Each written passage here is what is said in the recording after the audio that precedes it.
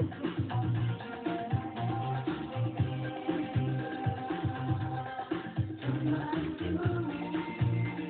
got all the latest moves.